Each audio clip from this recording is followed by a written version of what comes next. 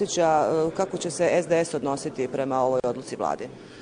Pa mi analiziramo šta se dešava. Jasno je da je ovaj proces e, hvatanja oko e, ratnih zločina nešto što uvijek izaziva nove političke tenzije i umjesto priče da se to radi zbog pomirenja u regionu, način na koji se to radi još od Haškog tribunala pa sada u raznom pravosuđu Bosne i Hercegovine je nešto što stalno izaziva nove tenzije i mi ćemo otvoriti razgovore da vidimo možemo li napraviti neki dogovor da se ovakav način i ovakvi procesi promijene u nešto što bi imalo više smisla i što bi zaista moglo u neku ruku da služi e, pomirenju.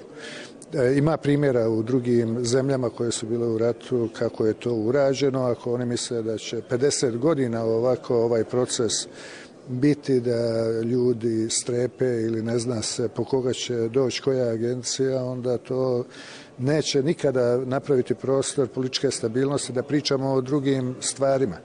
I do sad su policijske agencije i policija Republike Srpske eh, hapsila ljude po optužnicama suda Bosne i Hercegovine i ostalih sudova i suda Republike Srpske. Ovaj put je očigledno reakcija vlade na neki način drugačija. Mi se samo nadamo da ali eh, neke e, ishitrene odluke ili pokušaju da prebiju stvar preko koljena da bi da to neće imati posljedice po Republiku Srpsku i po srpski narod.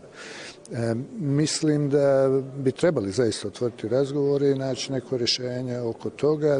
Čini mi se da ove odluke vlade i nisu toliko e, značajne ili problematične, osim što izgleda ne slažu se da SIPA ulazi u prostorije institucija, odnosno vlasti Republike Srpske, što baš i nema neku logiku, tu se i ne spominju uopšte ratni zločini, čini mi se da su motivi takvi neki zahtjeva sasvim drugačiji. Ali ja mislim da treba promijeniti odnos prema ratnim zločinima ovdje i naći način kako izaći iz ove situacije. Vidite, kada uhapse nekog na bošnjačkoj strani, eh, aplaudiramo u Republici Srpskoj, a oni dižu eh, galamu i tenzije. Kad se to desi na suprotnoj strani, onda je suprotna situacija. Ja mislim da je možda sazrelo vrijeme da čak i sve strane sjednu za sto i da nađu neko novo rešenje. Vidjet ćemo da li postoji politička volja za to.